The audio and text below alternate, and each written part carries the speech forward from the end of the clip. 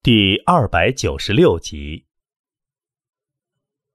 他只记得昨天离开父亲房间，父亲只喃喃了一句：“这叶晨的身份不一般，他值得我们这么做。”但是除了暗店店主以及内地发生的那些事以外，这家伙还有什么身份让父亲如此忌惮？很快，叶晨和李元成他们脚步停下了。此刻呈现在叶晨面前的是一座巨大的壁画，壁画宽五米，长足足三十米，栩栩如生。诧异的是，它更是由剑痕所刻。叶先生，这壁画便是江道山的秘密。李元成道。叶晨没有理会，他的视线死死地盯着壁画中的一处，因为那一处描绘的竟然是百座墓碑。而那百座墓碑之上，竟然悬浮着一个青年。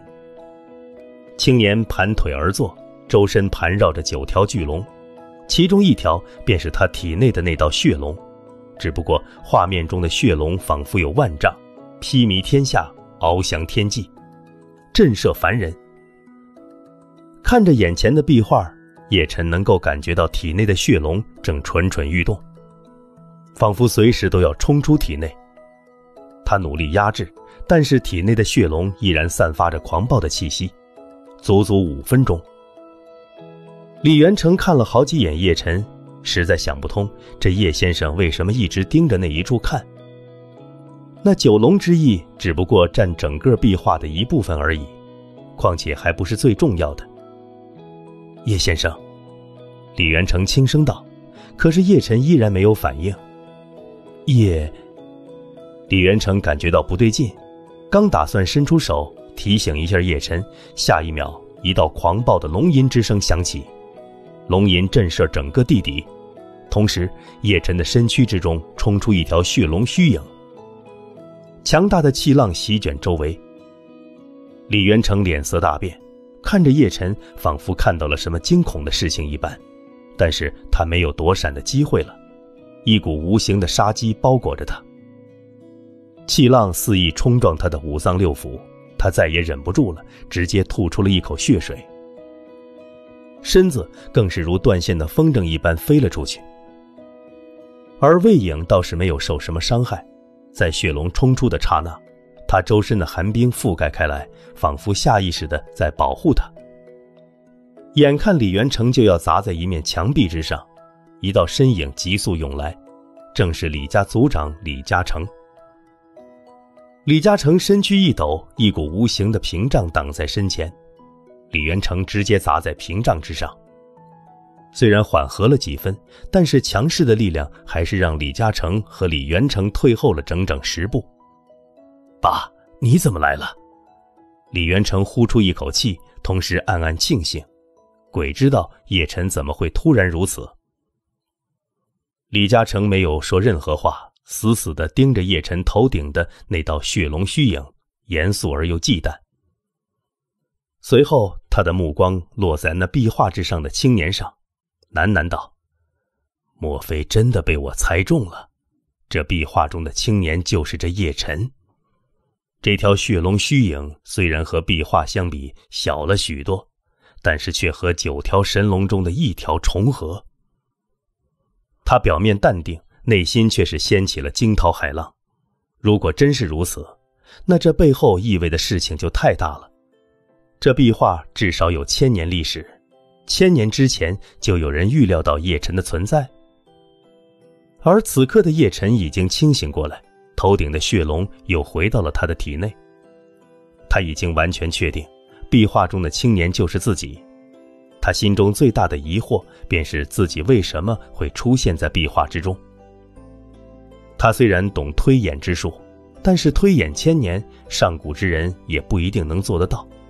身世、爷爷、湘江、江道山、李家地底古城，这些东西缠绕在一起，仿佛形成了一道诡异的棋局，无法勘破，短时间更是无法看透。叶晨缓过神来，目光落在了李元成以及李嘉诚的身上。他取出两枚丹药，射了出去。刚才我无法控制，这两枚丹药服下，对你们的伤势有很大的好处。两人接过丹药，自然能够感觉出丹药里面蕴含的浓郁药香。叶先生，谢了，不再犹豫，直接服下。丹药瞬间散发开来，原本脸庞苍白的两人脸色红润了几分。他们对叶晨也越发的好奇。这丹药比湘江乃至华夏的任何丹药都要强大，这对武者来说太重要了。而叶辰随随便便给出，必然意味着这丹药对他来说算不了什么。叶辰转身继续看向壁画，道：“这壁画来自何处？”李嘉诚来到叶辰的身边，看了一眼李元成以及魏颖。元成，要不你带魏小姐去挑件礼物？李元成和魏颖明白了什么，自然地向着一处而去。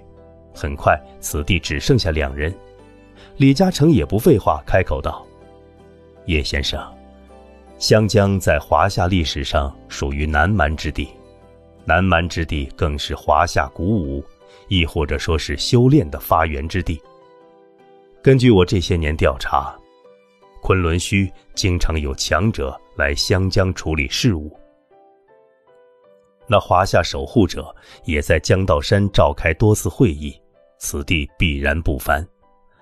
我李家先祖早就意识到了此地非同寻常啊，所以在几百年前就带着所有人从内地扎根到此。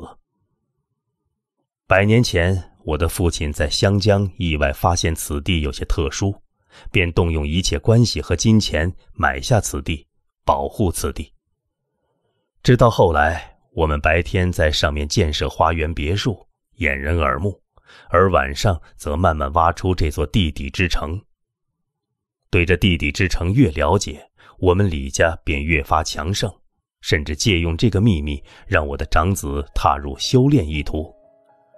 长子也被昆仑虚的宗门强者带走，奠定了我李家的地位。李嘉诚很清楚。叶晨体内的那道血龙，就注定对方不是鼓舞者，而是修炼者，也必然知道昆仑虚的存在。叶晨嘴角勾了一道弧度，饶有趣味地看着面前的老人。这个老人他在新闻中不知道看过多少回，本以为是华夏顶级商人，现在看来他远远小看了对方。对于你李家，我是一个外人，甚至你们对我也不了解。为什么要把这个秘密告诉我呢？你应该清楚，我若将今日之事传出去，你李家的底蕴必然要崩塌了。李嘉诚爽朗地笑了起来，哈哈哈哈！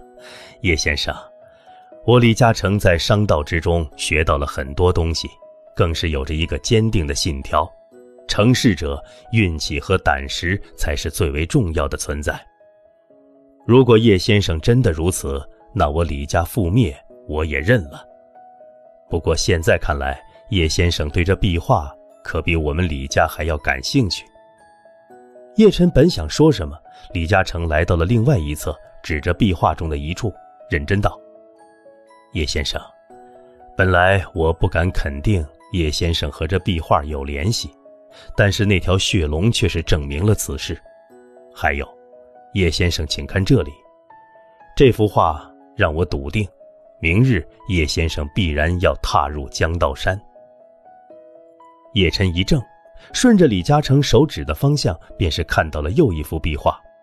画面中，一个青年手持长剑，而他的对面却是站着十位老者。虽然画面静态，但是这十位老者气息强大，眼眸透着强大的高傲之意，而青年却是受了伤，气息虚弱。只不过嘴角露出了残忍的笑容，仿佛胜券在握。叶晨很清楚，这幅画便是明日江道山的画面，而那十位老者必然是华夏守护者，一战难免，自己会受伤，而且看样子自己仿佛陷入了困境。但是自己的这道笑容又是怎么回事呢？叶晨比任何人都了解自己。这个笑容便是他嗜血和掌控一切的笑意。